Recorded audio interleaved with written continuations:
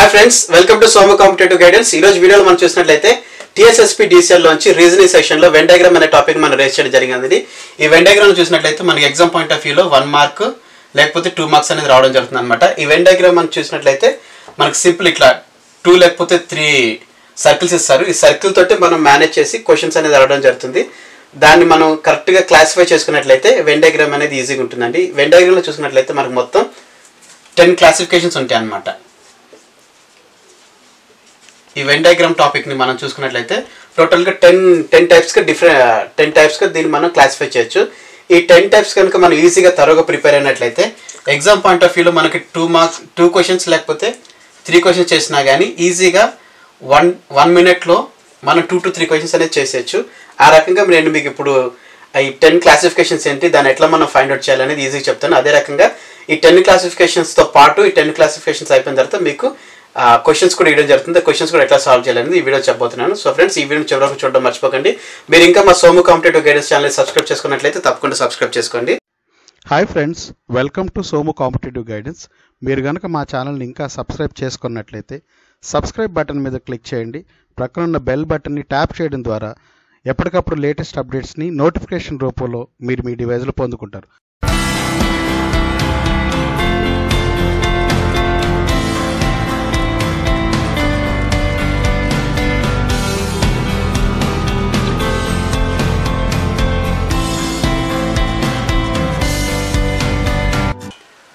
Friends ఇప్పుడు మనం చూసినట్లయితే వెన్లో మన డిఫరెంట్ క్లాస్ టెన్ క్లాసిఫికేషన్స్ ఉన్నాయి కదా ఫ్రెండ్స్ ఇప్పుడు ఫస్ట్ బోర్డులో ఫస్ట్ చూపిస్తున్నాను ఫోర్ చూపిస్తున్నాను. ఇందులో చూసినట్లయితే ఫస్ట్ క్లాసిఫికేషన్కి వచ్చినట్లయితే కనుక త్రీ డిఫరెంట్ క్లాసెస్ ఇందులో చూసుకున్నట్లయితే ఈ ఏబిసి అనేది డిఫరెంట్ క్లాసెస్ అనుకుందాము.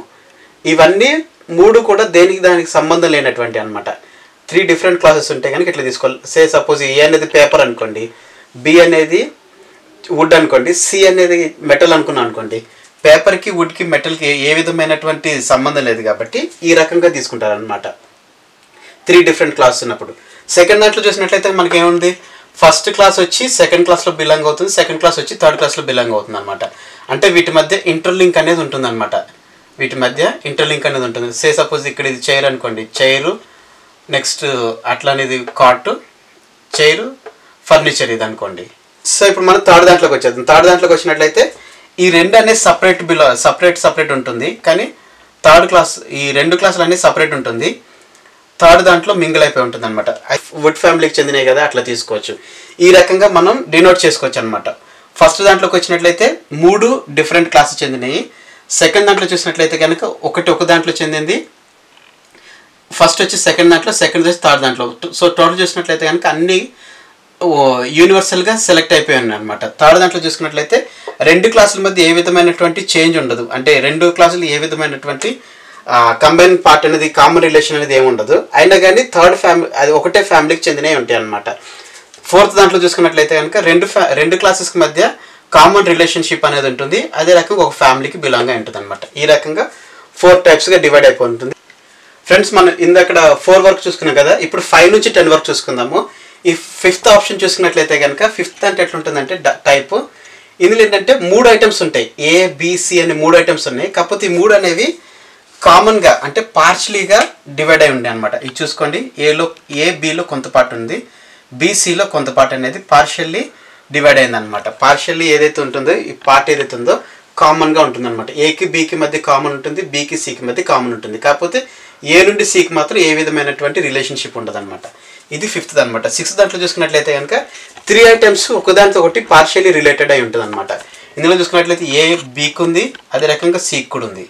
తర్వాత ఏ సీక్ కూడా ఉంది బి సీక్ కూడా ఉంది తర్వాత ఏబిసి అనేది కూడా ఇక్కడ మింగిల్ అయిపోయింది. సో ఇందులో చూసుకున్నట్లయితే మూడు ఐటమ్స్ కూడా మూడు ఐటమ్స్ కూడా పార్షియల్లీ అన్ని రిలేటెడ్గా చేసి ఉంటాయి అనమాట ఇది థర్డ్ పా థర్డ్ది సిక్స్త్ సంబంధించింది. సెవెంత్ చూసుకున్నట్లయితే కనుక ఫస్ట్ ఐటమ్ మొత్తం సెకండ్ ఐటెంలో బిలాంగ్ అయిపోతుంది కాకపోతే థర్డ్ ఐటమ్కి ఏ విధమైనటువంటి రిలేషన్షిప్ ఉండదు అనమాట దీనికి దీనికి మధ్య ఏ విధమైన రిలేషన్షిప్ ఉండదు. దీనికి దీనికి మధ్య కూడా ఏ విధమైన రిలేషన్షిప్ రిలేషన్షిప్ అనేది ఉండడం జరగదు అనమాట సో ఈ రకంగా సెవెంత్ టర్మ్ వరకు ఉంటుంది అనమాట ఎయిత్ దాన్ని చూసినట్లయితే కనుక రెండు రెండు ఫస్ట్ సెకండ్ది ఆ సెవెంత్ దాని రిలేటెడ్ ఉంటుంది. కాకపోతే ఏంటంటే ఇంతకుముందు సి అనేది ఏమో ఈ సి ఐటమ్ ఏంటంటే డిఫరెంట్గా ఉంది. కానీ ఇందులో చూసుకున్నట్లయితే కనుక ఏ తోటి బి తోటి మింగిల్ అవడం జరుగుతుంది అనమాట పార్షియల్లీ మింగిల్ అవుతుంది టోటల్గా కాకుండా పార్షియల్గా మింగిల్ అవుతుంది. సెవెంత్ వచ్చేసేమో ఏబి కంబైన్ ఉంటుంది. సి అనేది డిఫరెంట్ ఉంటుంది. ఎయిత్ దాంట్లోకి వచ్చేసరికి ఏమవుతుందంటే ఏబి అనేది సేమ్ క్లాస్ ఉంటుంది. సి అనేది మాత్రం పార్షియల్లీ కంబైన్ అయి ఉంటుంది. నైన్త్ దాంట్లోకి వచ్చినట్లయితే ఈ ఈ ఈ టైప్లో చూసుకున్నట్లయితే కనుక ఏబి అనేది రెండు సేమ్ సేమ్ గ్రూప్కి చెంది ఉంటాయి. సేమ్ ఏబి రెండు ఐటెంలు సేమ్ గ్రూప్కి చెంది ఉంటాయి. కానీ బి బీకి సికి మధ్య మాత్రమే పార్షియలీ రిలేషన్షిప్ ఉంటుందన్నమాట. ఏ తోటి సికి ఎటువంటి రిలేషన్షిప్ ఉండదు. బికి సికి మాత్రం రిలేషన్షిప్ అని ఉంటుంది. కాకపోతే ఏకి బికి మధ్య రిలేషన్షిప్ మాత్రం మెయింటైన్ అవుతుంటుంది అనమాట థర్డ్ టెన్త్ లాస్ట్ కేటగిరీలో చూసుకున్నట్లయితే కనుక ఏకి బికి మధ్య పార్షియలీ రిలేషన్షిప్ ఉంటుంది. ఏది పార్షియలీ రిలేషన్షిప్ అంటే ఇవన్నమాట.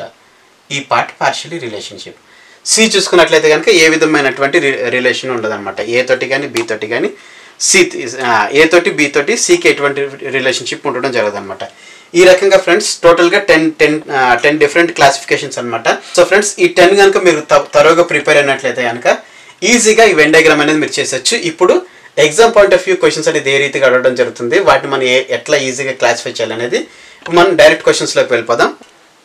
ఫ్రెండ్స్ ఇప్పుడు మనం చూసినట్లయితే కనుక క్వశ్చన్స్ అనేది ఈ- ఈ ఈ రకంగా అడగడం జరుగుతుంది అనమాట ఎగ్జామ్ పాయింట్ ఆఫ్ వ్యూలో ఎగ్జామ్స్లో ఎట్లా అంటే ఈ క్వశ్చన్స్ ఇస్తారు. క్వశ్చన్స్ కింద మీకు మనం ఇప్పటిదాకా దాకా వెన్ డయాగ్రామ్స్ కదండి బ్లాక్స్ ఆ బ్లాక్స్ అనేది ఇవ్వడం జరుగుతుంది అనమాట A B C D option కింద ఫోర్ బ్లాక్స్ అనేది ఫోర్ వెన్ డయాగ్రామ్స్ అనేది ఇస్తారు. అది ఈ పైన క్వశ్చన్కి మ్యాచ్ అవుతుందా లేదో చెప్తే అదే ఆన్సర్ కింద ఫైండ్ అవుట్ చేయడం జరుగుతుంది అనమాట ఇప్పుడు నేను బాక్ ఆప్షన్స్ ఏమి ఇవ్వకుండా డైరెక్ట్ నేను ఏదైతే ప్యాటర్న్ ఏదైతే సెట్ అవుతుందో ఆ వెన్ డయాగ్రామ్ అనేది ఇప్పుడు కింద వేసేస్తాను. మీరు చూసుకున్నట్లయితే ఫస్ట్ క్వశ్చన్ చూసినట్లయితే రెడ్ ఆరెంజ్ కలర్ అని ఇచ్చారనమాట క్వశ్చన్ ఏంటంటే రెడ్ ఆరెంజ్ కలర్ రెడ్ అనేది ఒక కలరే ఆరెంజ్ అనేది ఒక కలరే ఇక్కడ కలర్ అని ఇచ్చాడు. కాకపోతే ఈ రెడ్కి ఆరెంజ్కి మనకి మనకి ఏమన్నా కలర్ మ్యాచింగ్ ఏమైనా ఉందా? పార్షియల్లీ కనెక్టివిటీ ఏమైనా ఉందా? అంటే ఏం లేదు. రెడ్కి ఆరెంజ్కి పూర్తిగా ఆపోజిట్ సైడ్ ఉంటుంది కాబట్టి. సో దాన్ని మనం రెడ్ అని రాసుకో ఇంకో బ్లాక్ ఆరెంజ్ అని రాసుకుని అయితే ఈ రెండు కూడా చూసుకున్నట్లయితే మనకి కలర్ అనే ఫ్యామిలీలో రెడ్ అనేది ఉంటుంది ఆరెంజ్ అనేది ఉంటుంది. సో రెడ్ ఆరెంజ్ అనేది కలర్ ఫ్యామిలీకి చెందింది కాబట్టి ఈ రకంగా మనం వెన్ డయాగ్రామ్ అనేది చేయడం జరుగుతుంది అనమాట ఇప్పుడు మనం సెక్ సెకండ్ దాంట్లోకి వెళ్ళిపోదాం. సెకండ్ క్వశ్చన్లో చూసినట్లయితే ఏమి ఇచ్చారు? Brick bridge home. Brick bridge home అని ఇచ్చేసారు ఇందులో చూసుకున్నట్లయితే బ్రిడ్జ్కి హోమ్కి మనం చూసుకున్నట్లయితే ఏ విధమైన డిఫరెంట్ ఏ విధమైనటువంటి సపోర్టింగ్ ఏం లేదనమాట ఇది సపరేటే ఇది సపరేట్ కాకపోతే బ్రిక్ అనేది చూసుకున్నట్లయితే బ్రిక్ అనేది కామన్ బ్రిక్ ఇటుక అనేది మనం బ్రిడ్జ్లో వాడతాము అదే రకంగా హోమ్ ఇంట్లో కూడా వాడతాం. సో ఈ రెండిట్లో కామన్ ఏముంది? బ్రిక్ అనేది కామన్ అనమాట మనకి. బ్రిక్ అనేది కామన్ టర్ము ఈ బ్రిక్లోంచే మనం బ్రిడ్జ్ అనేది చేస్తాము. అదే రకంగా హోమ్ అనేది కూడా చేస్తాం. ఈ సర్కిల్ ఇక్కడైనా రావచ్చు ఎక్కడైనా రావచ్చు. కాకపోతే ఏంటంటే బ్రిక్ అనేది మాత్రం పార్షియల్లీ బ్రిడ్జ్కిను హోమ్కి మధ్య కనెక్టివిటీగా ఉంటుందన్నమాట.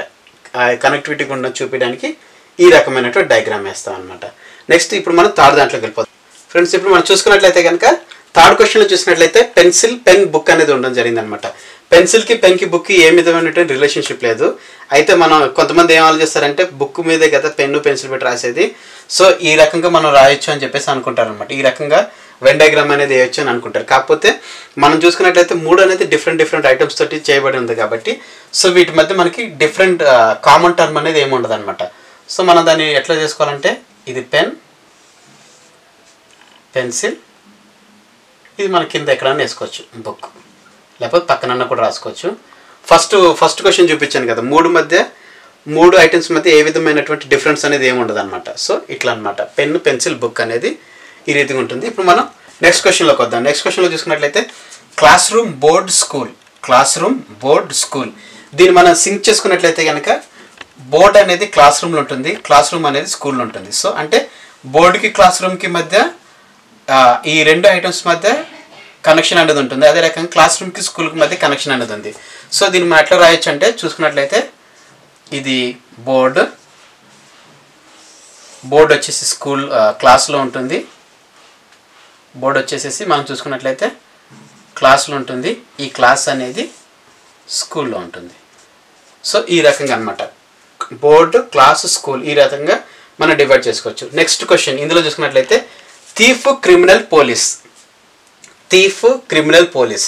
ఈ థీఫ్కి క్రిమినల్కి పోలీస్కి మధ్య ఇప్పుడు మనం వెన్ డయాగ్రామ్ వేయాలంటే కనుక థీఫ్ థీఫ్ తర్వాత క్రిమినల్ అనమాట థీఫ్ తర్వాత కొంచెం గ్రేడ్ పెరిగితే కనుక క్రిమినల్ అంటారు దాని వాళ్ళని. సో మనం చూసుకున్నట్లయితే ఫస్ట్ థీఫ్ వస్తాడు. నెక్స్ట్ క్రిమినల్ వస్తాడు. ఎందుకంటే థీఫ్ అన్న క్రిమినల్ అన్న ఒకటే కాబట్టి థీఫ్ క్రిమినల్ ఒకటే ఫ్యామిలీ కిందకి వస్తారు. అయితే పోలీస్ అనేది మాత్రం వీళ్ళిద్దరికి ఆపోజిట్ సైడ్ కాబట్టి సో మనోడు సపరేట్ బ్లాక్ కింద వస్తారనమాట పోలీస్. సో ఈ రకంగా సేమ్ సేమ్ ఫ్యామిలీలు ఉంటారు కాకపోతే డిఫరెంట్ అనమాట ఇదేంటంటే ఒకటే ఫ్యామిలీకి పార్షియల్లీ ఏబిసి ఏబిసి అనేది పార్షియల్లీ డివైడ్ ఉన్నది. ఇది చూసుకున్నట్లయితే కనుక మూడు సపరేట్ సపరేట్ ఐటమ్స్ చెందిన వాళ్ళు. ఇది చూసినట్లయితే ఒక ఐటమ్ ఒక దాంట్లో మింగిల్ అయి ఉంటుంది అనమాట ఇందులో చూసుకున్నట్లయితే రెండు ఐటమ్స్ ఉంటుంది థర్డ్ ఐటమ్ తోటి మింగ పార్షియల్ అసలు ఏం మీద ఉన్నట్టు కనెక్ట్ ఉంటుంది అనమాట ఈ రకంగా క్వశ్చన్స్ అనేది ఇస్తారు. క్వశ్చన్స్ కింద మీకు ఇట్లా డయాగ్రామ్ అనేది ఏబిసిడిలో ఇస్తారనమాట బ్లాక్స్ అనేది ఇస్తారు. నెంబర్ ఆఫ్ డయాగ్రామ్స్ ఇస్తారు. మనం చూసుకున్నటువంటి టెన్ డయాగ్రామ్స్లో ఏదైనా డయాగ్రామ్స్ అనేది మెన్షన్ చేస్తారు. కాకపోతే మనం కరెక్ట్ ఆప్షన్ని పిక్ చేసి ఆన్సర్ చేయడం అనమాట సో ఈ రకంగా మీరు చూసుకోవచ్చండి. కలర్ సంబంధించినటువంటి ఇట్లా ఉంటుంది నెక్స్ట్ ఎట్లా ఉంటుందంటే ఏబిసిడి అని చెప్పి ఇస్తుంటారు అదే రకంగా టెన్ ట్వెల్వ్ అని చెప్పేసి కొంచెం రేటింగ్ అని ఇచ్చేసి దానికి సంబంధించింది కూడా ఫైండ్ అవుట్ చేయమంటారు. ఇప్పుడు దాన్ని చూద్దాం అనమాట ఎగ్జామ్ పాయింట్ ఆఫ్ వ్యూలో క్వశ్చన్స్లో ఏ రకంగా అడగడం అనేది జరుగుతుంది అనేది ఇప్పుడు మనం చూద్దాం. ఫ్రెండ్స్ ఇప్పుడు మనం చూసినట్లయితే కనుక ఇట్లా క్వశ్చన్ అనేది ఇవ్వడం జరుగుతుంది అనమాట ఒక సర్కిల్ ట్రయాంగిల్ రెక్టాంగిల్ అనేది ఇవ్వడం జరుగుతుంది. దాంట్లో మనకి నెంబరింగ్ అనేది ఇచ్చేస్తారు అనమాట నెంబరింగ్ అని ఇస్తారు లేకపోతే డాక్టర్ అని యాక్టర్ అని.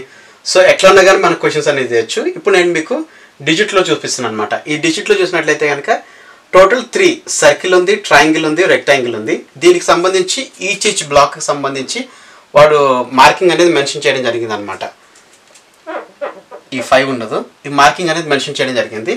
సో ఈ మార్కింగ్ సంబంధించి మనం చూసుకున్నట్లయితే కనుక దీని నుంచి క్వశ్చన్స్ అనేది అడగడం జరుగుతుంది. క్వశ్చన్స్ ఏ రకంగా ఉంటాయి అంటే మనం ఫస్ట్ క్వశ్చన్ చూసినట్లయితే find number lies inside all the figures అన్నాడు అనమాట అంటే ఏదైతే నెంబర్ ఒక నెంబర్ కనుక్కోమంటున్నాడు ఆ నెంబర్ ఏంటంటే అది మనకి స్క్వేర్ రెక్టాంగిల్లో ఉండాలి ట్రయాంగిల్ ఉండాలి సర్కిల్ ఉండాలి అనమాట ఆ నెంబర్ ఏంటో కనుక్కోమంటున్నాడు. ఇప్పుడు మనకి రెక్టాంగిల్ ట్రయాంగిల్ స్క్వేర్ సర్కిల్ ఉన్నది నెంబర్ చూసినట్లయితే ఈ టూ అనేది ఓన్లీ స్క్వేర్లోనే ఉంది. ఈ నైన్ అనేది ఓన్లీ ట్రయాంగిల్లోనే ఉంది.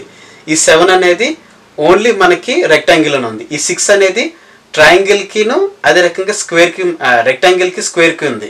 ఎయిట్ అనేది ట్రయాంగిల్కి స్క్వేర్కి మధ్యలో ఉంది. ఈ త్రీ అనేది చూసుకున్నట్లయితే కనుక మనకి ట్రయాంగిల్కిను అదే రకంగా సర్కిల్లో ఉంది. ఈ ఫోర్ చూసుకున్నట్లయితే ఇది ఈ పార్ట్.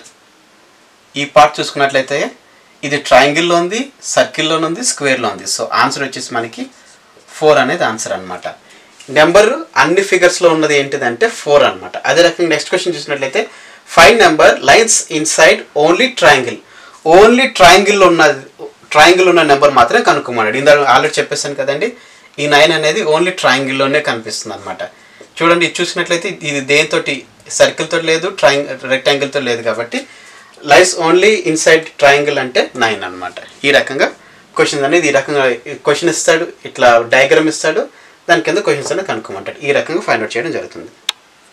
సో ఫ్రెండ్స్ ఇది టీఎస్ఎస్పి డిఎస్ఎల్లో రీజనింగ్ సంబంధించి వెన్ డయాగ్రామ్ సంబంధించినటువంటి క్వశ్చన్స్ అనమాట పాయింట్ ఆఫ్ వ్యూ ఎగ్జామ్లో వెన్ డయాగ్రామ్ సంబంధించినటువంటి ఏ క్వశ్చన్ ఇచ్చినా కానీ మీరు ఈజీగా విత్ ఇన్ హాఫ్ అ మినిట్లో ఆన్సర్ చేసే ఛాన్స్ అనేది ఉంటుంది. మనం ఈ వీడియోలో టోటల్ కవరేజ్ చేసుకున్నట్టు చూసుకున్నట్లయితే కనుక టైప్స్ చూసుకున్నాము. టైప్స్ చూసుకొని క్వశ్చన్స్ ఏ రీతిగా అడగడం అనేది చూ చూసామన్నమాట. టైప్స్ క్వశ్చన్స్ అదే రకంగా నెంబరింగ్ టైప్లో కూడా క్వశ్చన్స్ ఏ రీతిగా అడగడం అనేది చూడడం జరిగింది. సో ఫ్రెండ్స్ ఈ మూడు టాపిక్ ఈ మూడు టైప్స్ అనేది మనం ఇందులో కవర్ చేయడం జరిగింది. ఈ వెన్ డయాగ్రామ్లో ఒక టైప్స్ ఏ రకంగా క్వశ్చన్స్ అనేది అడగడం జరుగుతారు అదే రకంగా క్వశ్చన్స్లో కూడా నెంబర్ టైప్ ఆఫ్ క్వశ్చన్స్ అనేది ఇస్తారనమాట ఈ నెంబర్ టైప్లోనే మనకి పబ్లిక్ అని హాకీ ప్లేయర్ అని చెప్పేసి ఇండియన్స్ అని ఆస్ట్రేలియన్స్ అని సో నెంబర్ ఆఫ్గా అడుగుతారనమాట అయితే ప్యాటర్న్ అయితే ఇది బేసిక్ ప్యాటర్న్ అనమాట ఈ బేసిక్ ప్యాటర్న్ మీద మీకు క్వశ్చన్స్ అనేది అడగడం జరుగుతుంది. సో ఫ్రెండ్స్ ఈ వీడియో కనుక మీకు నచ్చినట్లయితే తప్పకోకుండా మా Somu competitive guidance channel like చేయండి షేర్ చేయండి సబ్స్క్రైబ్ చేయండి. ఇంకా టీఎస్ఎస్పీ డీసీఎల్ సంబంధించినటువంటి క్వశ్చన్స్ అనేది ఫ్రేమ్ చేయడం జరుగుతుంది. కొంచెం టెక్నికల్ ఇష్యూస్ వల్ల వీడియో అనేది లేట్ అవ్వడం జరుగుతుంది. రేపటి నుంచి ఇక మీకు కంటిన్యూస్గా వీడియోస్ అనేది పోస్ట్ చేయడానికి ట్రై చేస్తాము. మీరు కనుక ఇంకా మా సోము కాంపిటేటివ్ గైడెన్స్ ఛానల్ని లైక్ చేయబడినట్లయితే తప్పకోకుండా ఈ వీడియోని లైక్ చేయండి. ఇంకా మీ ఫ్యామ్ ఫ్రెండ్స్ కానీ ఫ్యామిలీ మెంబర్స్ కానీ ఎవరైతే టీఎస్ఎస్పీ ఎస్పీడీసీఎల్ ఎగ్జామ్కి ఎవరైతే ప్రిపేర్ అవుతున్నారో వాళ్ళు తప్పకుండా ఈ లింక్ అనేది షేర్ చేయండి. మీ ఫ్రెండ్స్కి కూడా ఇంకా షేర్ చేయడం మర్చిపోకండి. ఇంకా మీరు సబ్స్క్రైబ్ అయిన బటన్ క్లిక్ చేయనట్లయితే సబ్స్క్రైబ్ అయిన బటన్ క్లిక్ చేసి దాని పక్కన ఉన్న బెల్ ఐకన్ ట్యాప్ చేయండి. తద్వారా నేను వీడియో చేసి యూట్యూబ్ ఛానల్లో అప్లోడ్ చేయడంతో మీ వెంటనే మీకు డివైస్లో నోటిఫికేషన్ రూపంలో రావడం జరుగుతుంది. Thanks for watching have a nice day all the best for your exams bye